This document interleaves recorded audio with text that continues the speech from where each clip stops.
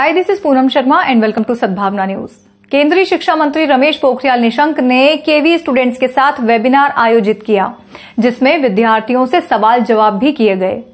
शिक्षा मंत्री ने यह घोषणा भी की कि विद्यार्थियों से संशोधित सिलेबस से ही बोर्ड परीक्षा 2021 में प्रश्न पूछे जाएँगे। केंद्रीय शिक्षा मंत्री ने केवी एंड्यूसगंज नई दिल्ली से कार्यक्रम में हिस्सा लिया और विद्यार्थियों के सवालों का जवाब भी दिया। शिक्षा मंत्री द्वारा शिक्षक, विद्यार्थी और अभिभावकों के साथ समय समय पर वेबिनार आयोजित किए जा रहे हैं। सहभागिता कार्यक्रम के दौरान विद्यार्थियों ने शिक्षा मंत्री निशंक से विभिन्न क्षेत्रों और विषयों से संबंधित प्रश्न पूछे। केवी गुरुग्राम के एक विद्यार्थी द्वारा पूछे गए प्रश्न का उत्तर देते हुए पोखरियाल ने बताया कि इस वर्ष कोविड 19 के कारण पाठ्यक्रम में 30 प्रतिशत तक की कटौती की गई है।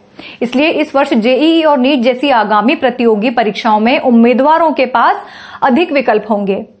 वाराणसी के एक विद्यार्थी द्वारा पूछे गए एक अन्य प्रश्न के जवाब में पोखरियाल ने कहा कि स्कूल के दोबारा खुलने के बाद भी ऑनलाइन शिक्षा की सुविधाएँ जारी रहेंगी। कुछ समय के लिए विद्यार्थियों के पास ऑनलाइन और ऑफलाइन दोनों का मिश्रित रूप उपलब्ध होगा।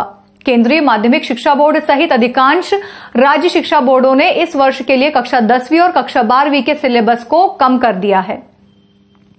केंद्रीय माध्यमिक शिक्षा बोर्ड की परीक्षाएँ 4 मई से 10 जून के बीच आयोजित की जानी है, जबकि 2021 की प्रैक्टिकल परीक्षाएँ 1 मार्च से शुरू होंगी।